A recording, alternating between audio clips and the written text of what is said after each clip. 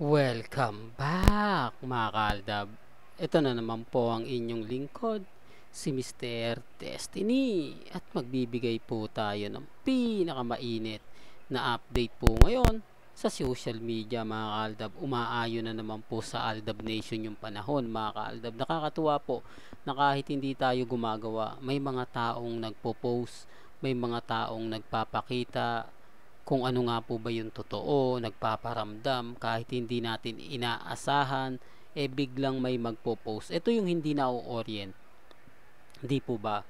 Na ang akala nga po nila, eh nasa Pilipinas na dumat o dumating na sa Pilipinas si Mr. Spotted. Ang hindi nila alam, hindi naman po talaga pumunta at hindi naman po umalis.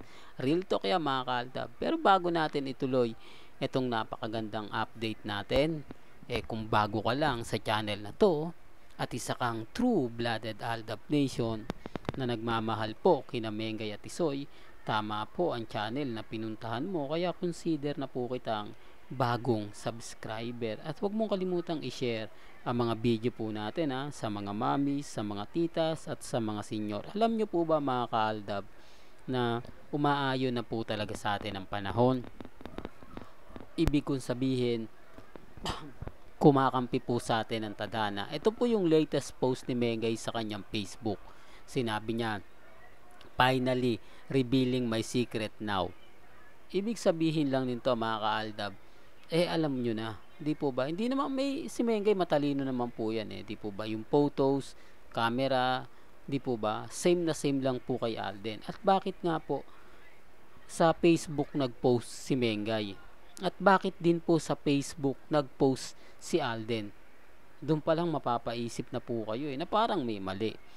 Bakit lagi na lang nagkakataon, lagi na lang kumbaga umaayon sa Aldab Nation yung panahon. Di po ba? Tapos ito pa yung masakit diyan. Andito na raw po si Arjo sa Pinas, nasa barangay dito po sa amin. May post yan ha mga kaalda ba? Hindi ko inedit to, wala po tayong panliling lang na ginawa never naman po natin yung ginagawa. For the klar ano lang para klaro lang po mga kaaldab. Alam nyo naman po si Mr. Destiny pagdating sa pag-iimbestiga pagbibigay ng mga update maaasahan nyo po talaga ako.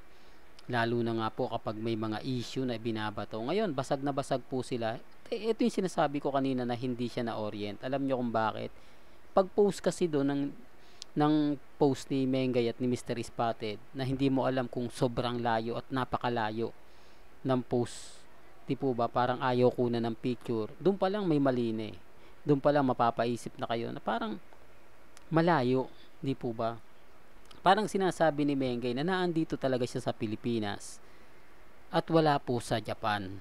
O sinasabi nilang New York. Siyempre ang tunay pong kasama talaga ni Mengay sa Japan. Walang iba kundi si Alden Richards. Real talk yan mga kaaldab.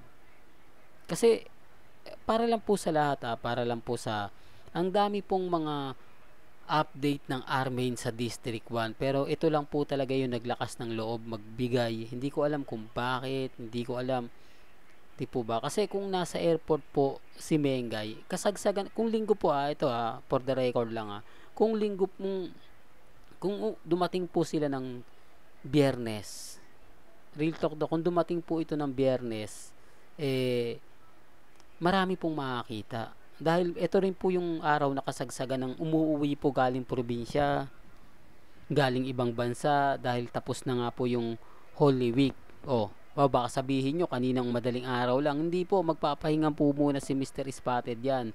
Hindi muna yan.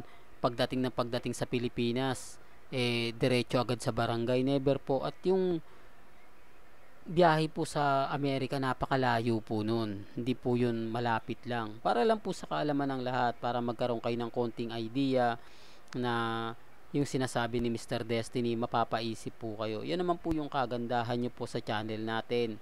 Hindi naman po tayo gumagawa lang ng mga issue para makakuha ng mga update. Sinasabi ko lang po ito para klaro, para 101% alam po ninyo, di po ba? Ganun lang naman po kasimple. Kaya ako natatawa na lang po ako sa mga nagre-react sa akin, mga nagsasabing fake news ako.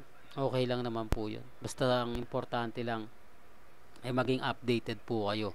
Di po ba? Ano man po yung nababalitaan ninyo, ano man po yung nababasa at napapakinggan nyo, depende na lang po sa inyo. At least dito, alam nyo po talaga kung sino yung kasama ni Mengay.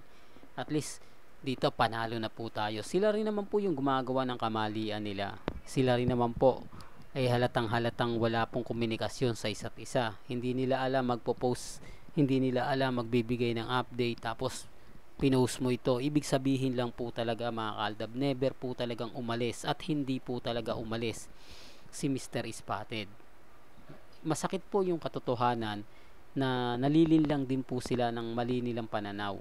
Sila na rin kasi nagsasabi, hindi naman po ito pinost ni Mr. Spotted na pupunta kami ng US ni Mengay, di po ba? Wala naman po silang pinost sa social media, wala naman pong update. Although si Alden nagbigay ng ganap na magbabakasyon siya, hindi niya lang sinabi kung saan, pero sa huli pa rin po, eh pinakita niya kung saan po siya nagbakasyon. Samantalang si Mr. Spotted at si Mengay sa tingin nyo, sino nga po ba nagpaputok agad nasa Las Vegas sila? Di po ba mga fans lang? Sino nga po ba nagpost ng nasa ano sila Los oh, nasa San Francisco, California. Oh. Tapos sa Adventure Park, sino nga po ba nagpost?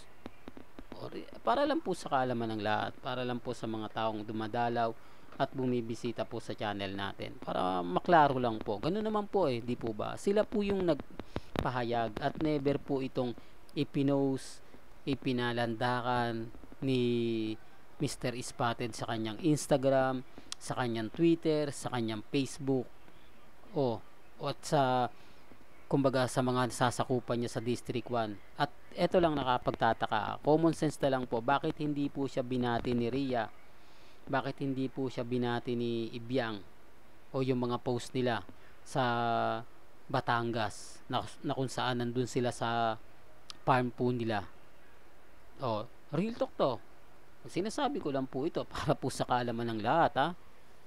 Kasi baka may mag-react na naman magkomento nako fake news ka di po ba? Alam ko naman po na lagi silang galit lagi silang guilty lalo na po kapag ang pinag-uusapan ay ang mga real life couple.